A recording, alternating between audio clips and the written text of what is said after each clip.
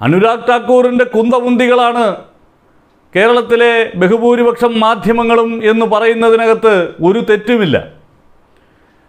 ഈ രാജ്യം കഴിഞ്ഞ ദിവസം ഏറ്റവും ഗൗരവത്തോടെ ചർച്ച ചെയ്ത സത്യപാൽ മാലിക്കിന്റെ വെളിപ്പെടുത്തലുകൾ.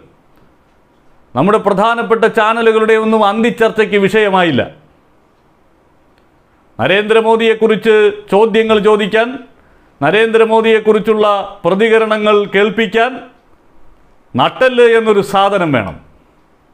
ആ സാധനമില്ലാത്തവർ സുധാകരൻ പാമ്പ്ലാനി പിതാവിനെ കാണാൻ പോയതൊക്കെയാണ് ഈ രാജ്യത്തെ ഏറ്റവും വലിയ വിഷയമെന്നുള്ള നിലയിലാണ് അവരുടെ പ്രൈം ടൈം ചർച്ചകൾ നടത്തിയത്.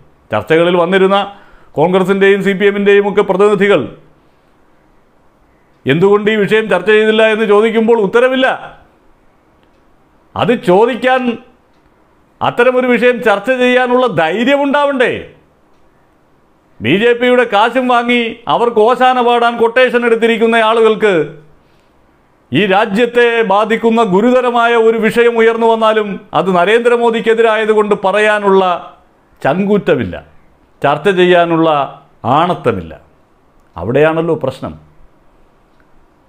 സുധാകരൻ പാബ്ലാനി പിതാവിനെ കാണാൻ പോകുന്നതാണ് ഇവിടുത്തെ വലിയ സംഭവം എന്ന മട്ടിലാണ്.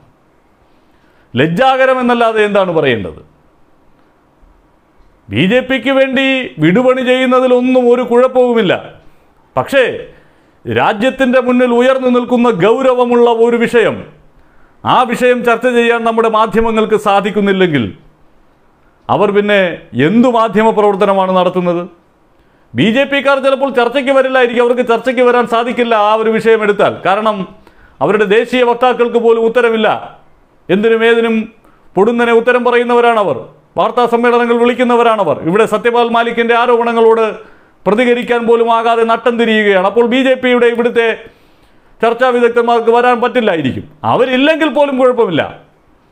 മറ്റു രാഷ്ട്രീയക്കാർക്ക് പറയാനുള്ളത് അത് ഈ രാജ്യത്തെ ജനങ്ങൾക്ക് കേൾക്കാനുള്ള അവകാശമുണ്ടായിരുന്നു. അതിന് തയ്യാറാകാത്തത് എന്ത്? ഇതുപോലെ ഇപ്പോൾ സി പി എമ്മിന്റെയും കോൺഗ്രസിന്റെയും ഒക്കെ പ്രതിനിധികൾ വരാതിരുന്നപ്പോഴും അവരുമായി ബന്ധപ്പെടുന്ന പല വിഷയങ്ങളും ചർച്ച ചെയ്തിട്ടുണ്ടല്ലോ. അപ്പോൾ സംഗതി മറ്റൊന്നാണ്. അനുരാഗ് താക്കൂർ ഇവരോട് പറഞ്ഞിട്ടുള്ളത് നിങ്ങൾ വിധേയരായി നിൽക്കണം എന്നാൽ കൊള്ളാം. അല്ലെങ്കിൽ പലതും സംഭവിക്കും മീഡിയ വണ്ണിനൊക്കെ സംഭവിച്ചതുപോലെ സംഭവിക്കുമെന്നുള്ള ഭയമുണ്ട്.